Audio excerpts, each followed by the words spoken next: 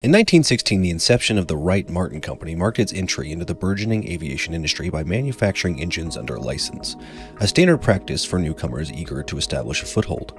Their initial venture involved the production of the water-cooled Hispano Suiza V8, a subject I plan to explore in greater detail in an upcoming video. By 1919, Wright Aeronautical Corporation was formed following the divestiture of Wright Martin's assets to the Mack Truck Company, signaling a new chapter in aviation manufacturing. Despite the cessation of the Hispano Suiza's production in 1921, which had been the company's staple, the emerging void necessitated an innovative response. The search for a replacement led to the envisioning of a 200 horsepower air-cooled radial engine to compensate for the discontinuation of the Suiza contracts. Enter Frederick Rentschler, a name familiar to our audience and the founder of Pratt & Whitney. Rentschler's strategic response to the predicament was the acquisition of a company already in the process of developing a promising product. This led to the purchase of the Lawrence Company, which was manufacturing the J1, a 9-cylinder 200 horsepower radial engine. The acquisition, finalized in May of 1923, saw C.L. Lawrence join Wright Aeronautical as vice president, bringing his expertise in the J1 engine, which would undergo enhancements to become the J3.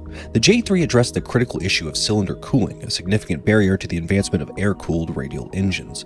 However, the quest for perfection revealed the limitations of the aluminum cylinder design, culminating in the development of the J4 engine. This iteration featured an innovative aluminum cylinder with a steel liner, designed to improve cooling efficiency despite initial setbacks. The evolution of Wright Aeronautical's engines reached a pivotal moment in 1927 with the introduction of the J5 Whirlwind. This engine, smaller and more efficient, gained significant recognition for its role in Charles Lindbergh's historic nonstop flight from New York to Paris, winning the Raymond Orteig Prize. The same year, C.L. Lawrence was honored with the Collier Trophy for his contributions to the development of radial engines, cementing the company's reputation in aviation history. The early 1920s presented Wright Aeronautical with both challenges and opportunities, as evidenced by their submission of a 1,454 cubic inch radial engine for an Army contest in 1921. Despite the R1 engine's promising design, it encountered issues during testing, notably the poultice head, a common design of the era that integrated valve seats into a closed cylinder liner. The mismatch in expansion rates between aluminum and steel components led to inefficiencies and operational failures. The introduction of the Type J cylinder by Sam Heron, an external innovator, marked a significant improvement despite initial resistance from Wright Aeronautical.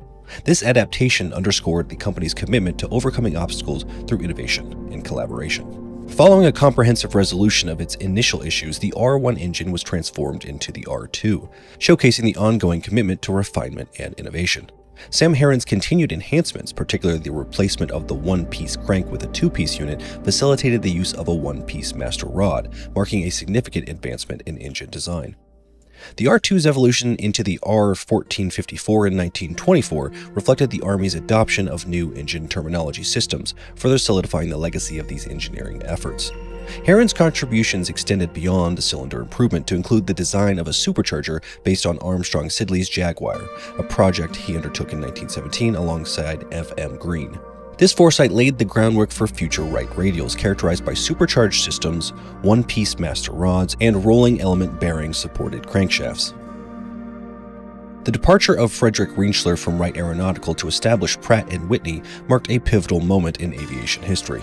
Rentschler's new venture led to the creation of the R1340 engine, which was both lighter and more powerful than its predecessors, setting a new benchmark in engine performance. Meanwhile, Wright Aeronautical ventured into the realm of water-cooled V-type engines with its T-Series, experimenting with these designs in various air races. However, the company eventually shifted focus away from liquid-cooled engines, a decision influenced by the evolving landscape of aviation technology. In the wake of Rentschler's departure, C.L. Lawrence ascended to the presidency of Wright Aeronautical, ushering in a new era of leadership. The company soon secured a contract for the P-1, a nine-cylinder radial engine boasting 654 cubic inches. Despite its innovative design, the P1 faced significant challenges, primarily due to its unconventional short connecting rod ratio, which imposed undue stress on the pistons. This setback, coupled with the diversion of key personnel to other projects, underscored the complexities of pioneering engine development. The subsequent P2 engine, while an attempt to build upon the foundations of the P1, also fell short of expectations. This prompted the Navy to commission Wright Aeronautical to develop a more compact radial engine tailored for carrier-based observation aircraft, such as the Vought O2U. The result was the Simoon engine, which, despite its lineage from the P2's architecture, successfully delivered 350 horsepower at a maximum weight of 650 pounds. This period also witnessed the introduction of Pratt & Whitney's WASP engine, which redefined the standards for radial engines, challenging Wright Aeronautical to continue its pursuit of innovation and excellence in a rapidly evolving industry. Despite facing significant challenges in the departure of key personnel to Pratt & Whitney, Wright Aeronautical's fortunes began to turn in 1926 with the arrival of E.T. Jones, the head of the power plant section at McCook Field, and Sam Heron. Their expertise rejuvenated the company's engineering capabilities, leading to the development of the R1750 Cyclone engine. This nine cylinder radial engine capable of producing 500 horsepower was quickly recognized for its potential and adopted by the Navy for use in flying boats, marking a significant success for Wright Aeronautical. The company's trajectory took another positive turn in 1929 with its merger with Curtiss, bringing on board Arthur Nutt, the designer of the successful D-12 engine. This collaboration fostered further innovation, culminating in the enhancement of the R-1750's bore to 6.125 inches and an increase in total displacement to 1,823 cubic inches by 1932. This iteration of the engine known as the F model Cyclone emerged as a cornerstone of American aviation, serving as the primary power plant for America's bombing efforts during World War II and powering the DC-2 commercial airliner. The Cyclone's success played a pivotal role in securing Wright Aeronautical's financial future and solidifying its position in the aviation industry. The introduction of the R-1820 Cyclone brought with it new advancements, including the transition from forged aluminum to forged steel crankcases, reflecting continuous evolution of engine technology to meet the demands of both military and commercial aviation. The era also underscored the growing importance of supercharging as a means to boost engine performance. Initially led by General Electric in the development of superchargers, Wright Aeronautical embarked on designing its own superchargers in response to the realization that GE's models were outpaced by their British counterparts. This initiative resulted in superchargers of far greater efficiency, demonstrating Wright Aeronautical's commitment to innovation and its ability to adapt to the technological advancements of the era, ensuring its engines remained at the forefront of aviation technology.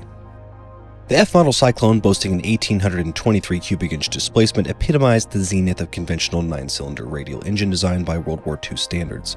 This model was distinguished by its forged aluminum crankcase ingeniously divided along the cylinder centerline into two sections, a testament to the intricate engineering practices of the era. The cylinder construction was a direct inheritance of Sam Heron's pioneering work, featuring a steel barrel with integrally machined cooling fins for optimal thermal management. Complementing this, the cast aluminum cylinder head was meticulously screwed and shrunk onto the barrel, housing two valves within the hemispherical combustion chamber. Notably, the exhaust valve incorporated Heron's innovative sodium cooling feature, enhancing the engine's thermal efficiency. The design's reliance on a one-piece master connecting rod necessitated a crankshaft composed of two pieces, each supported by robust roller bearings, showcasing an advanced approach to reducing friction and wear. The master rod bearing itself was a composite of steel-backed lead indium silver, a choice reflecting the era's cutting-edge materials science.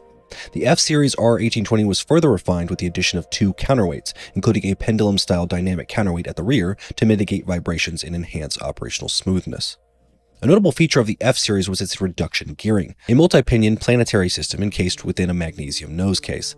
This case also accommodated the cam plate and roller tappets, underlining the engine's sophisticated valve timing mechanisms. Despite these advancements, the F-Series engines continued to utilize the GE-designed supercharger, a choice that, while historically significant, somewhat constrained the engine's potential power output and overall performance efficiency. Carburation was managed by a two-barrel downdraft Holley carburetor, a standard yet effective solution for fuel delivery. Performance metrics for the F-model Cyclone varied with output ranging from 575 to 890 horsepower at 1900 RPM against a backdrop of a typical weight of 1,000 pounds. This power-to-weight ratio underscored the engine's robustness and reliability in a variety of operational contexts. Ignition was reliably managed by two scintilla magnetos, each responsible for firing two plugs per cylinder, a redundancy that enhanced ignition reliability. The lubrication system adhered to the dry sump principle, featuring one pressure pump and one scavenge pump, ensuring optimal oil circulation and engine health. The F model Cyclone's intricate design and comprehensive features not only exemplified the pinnacle of radial engine technology, but also marked a significant chapter in aviation history, powering numerous aircraft through the challenges of World War II and beyond. The evolution of the R-1820 engines into the G series marked a significant leap forward in aviation technology, addressing one of the perennial challenges in engine design effective heat rejection. To combat this, the G series introduced an expanded cooling fin area, achieving an impressive total of 2,800 square inches per cylinder. This enhancement was pivotal in managing the thermal load, allowing the engine to maintain optimal performance under demanding conditions. A critical turning point in the development of the G series was Wright Aeronautical's decision to design its own superchargers. After recognizing that General Electric superchargers achieved no more than 60% efficiency, Wright's engineers embarked on an ambitious project to surpass this limitation. Their efforts bore fruit with the creation of a supercharger that reached a remarkable 75% efficiency, significantly boosting the engine's power output and operational efficiency. The G Series also saw the two-piece crankcase undergo a redesign to harness the superior mechanical properties of steel forging. Despite the potential for increased weight due to denser material, careful engineering ensured that wall thickness was minimized, avoiding any undue weight penalty. This meticulous attention to detail ensured that the G series retained the robust design features of its predecessor, the F series, while achieving substantial performance improvements. The result was a powerhouse capable of delivering 1200 horsepower at 2500 RPM, a considerable enhancement over the F series. The onset of World War II catalyzed the transition from the F Series to the G Series engines, with the latter becoming the predominant version of the R1820 produced during this conflict. The shift was not only a testament to the G Series' superior performance and reliability, but also to the efficiencies gained in its manufacturing process. Manufacturing of the G Series was notably undertaken by the Studebaker Corporation, which established three dedicated facilities for this purpose. The primary plant was located in South Bend, Indiana. Complementing the South Bend facility, a plant in Fort Wayne was tasked with producing gears and connecting rods, while another facility in Chicago focused on precision parts. This expansive manufacturing network underscored the strategic importance of the G series engines in supporting the Allied war effort, contributing significantly to the aerial capabilities that were crucial to achieving victory. The R1820 engine etched its place in history primarily through its instrumental role in the aluminum overcast, the fleet of B-17 bombers that formed the backbone of the Allied strategic bombing campaign over Germany during World War II. At the zenith of this campaign, as many as 1,500 four-engine bombers, each powered by four R-1820 engines, dominated the skies, delivering a relentless barrage that significantly impacted the war's outcome. The engine's reliability and performance under the extreme conditions of high-altitude, long-distance flights contributed immensely to the success of these missions, underscoring the engine's pivotal role in the Allied war effort. Beyond its significant contributions to the B-17's operation, the versatility of the R-1820 was further demonstrated through its application in a variety of aircraft, each playing a unique role in the war. The engine powered the SBD Dauntless, a Navy dive bomber that despite its slower speeds was renowned for its lethal precision in dive bombing attacks, particularly during pivotal battles such as Midway. This ability to adapt to different combat requirements highlighted the engine's design excellence. Additionally, the R-1820 was the power plant for the Brewster F-2A Buffalo and the F-4F Wildcat, aircraft that were critical in early stages of the Pacific Theater. The engine's deployment in these fighters demonstrated its adaptability and reliability across different classes of aircraft from bombers to fighters, showcasing the broad impact of Wright Aeronautical's engineering on the war. Remarkably, the R-1820's influence extended beyond the skies. It was also adapted to power the T-1 heavy tank, illustrating the engine's versatility and the innovative approaches to mechanized warfare during the period. So, wrapping this all up, the R-1820 engine by Wright Aeronautical is nothing short of legendary. It's like the Swiss Army knife of World War II engines, powering everything from sky-dominating B-17s in Europe to the game-changing SBD Dauntless. Wright Aeronautical wasn't just making engines, they were crafting the tools that would tip the scales in favor of the Allies. It's impressive how one engine model found its way into so many critical roles, from bombers to fighters and even tanks. What's impressive about the R1820 is not just its versatility, but how it showcases the ingenuity that was so crucial back then.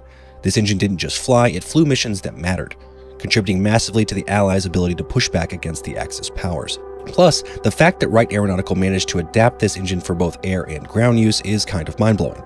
It's a testament to their innovation and a big reason why we saw such advancements in technology during and after the war. In a nutshell, the R-1820 and Wright Aeronautical played a massive part in the Allied success story. It's a perfect example of how behind every plane there was an engine and behind that engine a bunch of smart folks pushing the envelope of what was possible. This engine didn't just help win a war, it helped shape the future of aviation, and that's something worth remembering.